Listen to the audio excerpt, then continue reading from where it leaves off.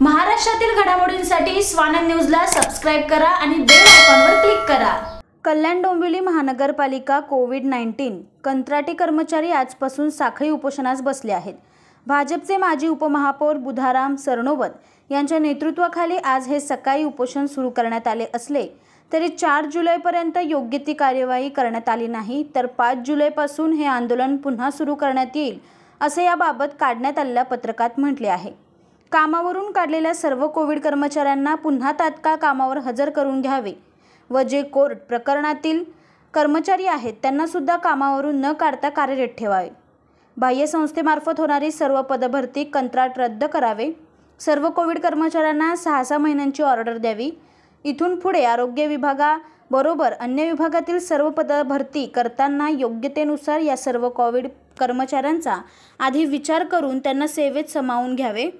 कल्याण डोंबिवली महानगरपालिका पदभरती असो किंवा राष्ट्रीय र- शहरी आरोग्य अभियान या सर्व पदभरतीमध्ये कोविड योद्धांना आधी समाविष्ट करावे. कल्याण डोंबिवली महानगरपालिकेमध्ये कोविड काळामध्ये ज्या कर्मचाऱ्यांनी काम केलं मागील दोन वर्षापासून हे काम करत आहेत येथील कोविड क कोविड कर्मचारी सातत्याने आरोग्य सेवा देत आहेत महापालिकेमध्ये. परंतु या कर्मचाऱ्यांना महापालिकेने काढून त्याच्या जागेवरती कॉन्ट्रॅक्ट भरती करायला सुरुवात केलेली आहे. कॉन्ट्रॅक्ट भरती म्हणजे एक कॉन्ट्रॅक्टर नेमलेला आहे. आमचा त्यालाच विरोध आहे की कॉन्ट्रॅक्टर न नेमता या ही जी कर्मचारी काम करत आहेत यांना तुम्ही त्यांच्या जागेवरती काम करू द्या. कॉन्ट्रॅक्टर आपण नेमू नये आणि यांना पुढे यांची सेवा कंटिन्यू ठेवा. परंतु महानगरपालिकेने कॉन्ट्रॅक्टरकडून चांगले पैसे मिळावे म्हणून या कर्मचाऱ्यांना कामावरनं काढून टाकलेलं आहे. दुसरे दुसरं असं आहे की माननीय गणपत गायकवाड साहेब आपले आमदार यांनी मुख्यमंत्र्यांकडं एक पत्र दिलेलं होतं की कोविड कर्मचाऱ्यांनी ज्यांनी काम केलेलं आहे यांना आपण सेवेमध्ये घ्यावे. माननीय मुख्यमंत्री साहेब यांनी अपर सचिवांना पत्र देऊन त्याच्यावरती योग्य ती कारवाई करायला सांगितलेली आहे. अपर सचिवांनी सर्व महानगरपालिकांना असं पत्र दिलेलं आहे लेखीमध्ये की आपण याच्यावरती उचित कारवाई करावी.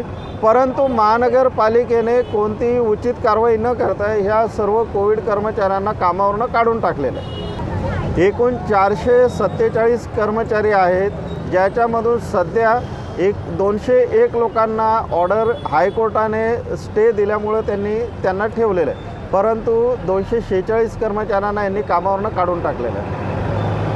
आहे आमची एकच सर मागणी आहे की आता जो टेंडर ओपन झालेला आहे तो टेंडर बंद करण्यात यावा आणि त्या जागी आम्ही जसे आहोत तसेच आम्हाला भरती करून ठेवा. आणि आमची काय अशी मागणी नाही की आम्हाला डायरेक्टली परमनंटच करा.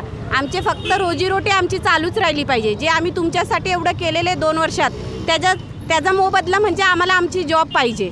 आमचं पण घरदार आहे सर्व काय आहे आम्हाला ते हवं आहे जॉब हवं आहे प्लस आम्हाला जे भत्ता आहे तो भत्ताही भेटला पाहिजे. आमचे जे कर्मचारी पॉझिटिव्ह आलेले आहेत त्यांचे जे खाडे झालेले आहेत चौदा दिवसाचे तेही आम्हाला भरून देण्यात आले पाहिजेत. आमच्या भरपूर काही मागण्या आहेत पण त्याच्यात अजून काही हे करत नाही. प्लस आज आता आम्ही मॅडमला भेटून आलेलो आहे. ते बोलतात की आम्ही एवढे चारशे अठ्ठावीस कर्मचारी कुठेही घेऊ शकत नाही. का म्हणून नाही?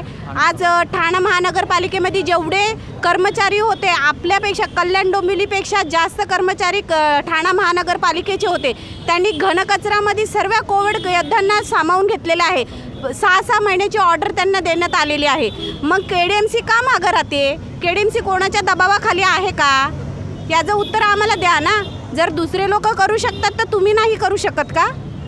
सर्व गोष्टी के डी एम सीच्या हातामध्ये आहे पण ते आम्हाला असे दाखवतात की आमच्या हातामध्ये काही नाही आहे आज दोन वर्ष झाले आम्ही आयुक्तांना भेटण्याचा प पर्याय निवडतो पण ते आयुक्त आम्हाला दोन मिनटं काय पाच मिनटंही आम्हाला भेटत नाही आहे का तर कोविड कर्मचाऱ्यांना आम्हाला भेटायचं नाही. हा का उद्देश तुमचा? कोविड कर्मचाऱ्यांनी कोणता घोडा मारला आहे तुमचा? आम्हाला भेटा आमच्याशी बोला आमच्याशी डिस्कस करा. काहीतरी आम्हाला रिझन द्या. आम्हा आमच्यामुळे तुम्ही एवढे पुरस्कार हासिल केलेले आहेत मग ते कुणाच्या जबावर? तुम्ही पुरस्कार घेणार का? आणि आम्हाला रस्त्यावर काढणार. मग आमची मुलं बाळं काय करणार?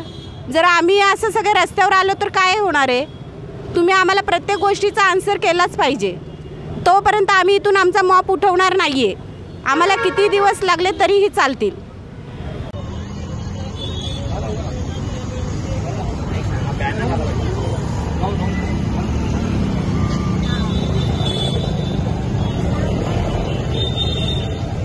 भारतीय जनता पार्टीचे आदिवासी सेलचे कल्याण जिल्ह्याचे अध्यक्ष माजी उपमहापौर माझे मित्र बुधारामजी सरनोबत आणि कल्याण डोंबिवलीमध्ये ज्या कोविड योद्ध्यांनी महत्वाची भूमिका बजावली कंत्राटी कामगार म्हणून ज्यांनी काम करून कल्याण डोंबिवलीमधल्या अनेक जनतेची सेवा केली नुसती सेवा नाही केली तर स्वतःचा जीव धोक्यात टाकून लोकांचे जीव वाचवण्याचं एक खूप मोठं दैवी काम ज्या कंत्राटदार कामगारांनी केलं. म्हणजे ती म्हणतात ना म्हणे गरज सर्व आणि आज तुम्ही वैद्यकीयच काम केलं ना. डॉक्टर नर्स हे सगळे वैद्यकीय क्षेत्रातल्याच आहे गरज सर्व आणि वैद्य मरो. त्यामुळे अशा प्रकारची भूमिका अत्यंत चुकीची भूमिका ही महानगरपालिकेच्या प्रशासनाने घेतलेली आहे. त्याचा सगळ्यात पहिल्यांदा मी मोठा धिक्कार करतो. जाहीर निषेध करतो. किमान त्यांनी ज्या त्यांच्या पडत्या काळामध्ये अडचणीमध्ये आज ठीक आहे आम्हाला नोकरीची गरज होती. कुणाल म्हात्रे स्वानंद मीडिया कल्याण. महाराष्ट्रातील घडामोडींसाठी स्वानंद न्यूजला सबस्क्राईब करा आणि बेल आयकॉनवर क्लिक करा.